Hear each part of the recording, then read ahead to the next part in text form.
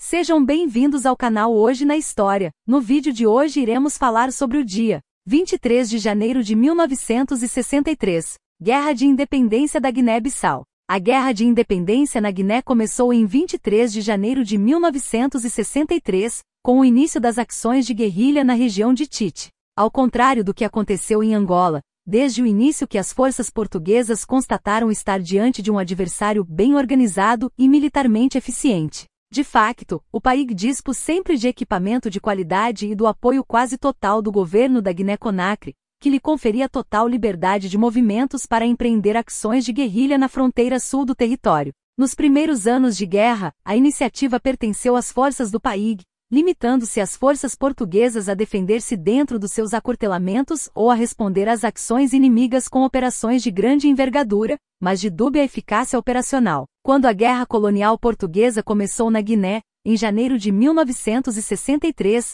havia já quase dois anos que as forças portuguesas combatiam, com relativo sucesso, em Angola. Este facto permitiu às autoridades portuguesas prevenirem de certa forma a possível eclosão de ações de guerrilha em Moçambique e na Guiné. Assim, quando a guerra chegou à Guiné, a guerrilha deparou-se com um dispositivo militar português que abrangia todo o território. Este dispositivo baseava-se em sete e em oito batalhões do exército português dispostos em quadrícula. Essencialmente, cada batalhão ocupava um setor, que se subdividia em zonas de ação, ZA. Essas ZAs eram ocupadas por companhias que, apesar de integradas em batalhões, actuavam com grande autonomia logística e operacional. O objetivo destas companhias era privar o inimigo do contato com as populações e manter limpa a sua ZA. A busca e destruição do inimigo estava a cargo de forças de intervenção especializadas nessas ações, golpes de mão, ações de limpeza, etc. Paraquedistas, comandos, fuzileiros, etc.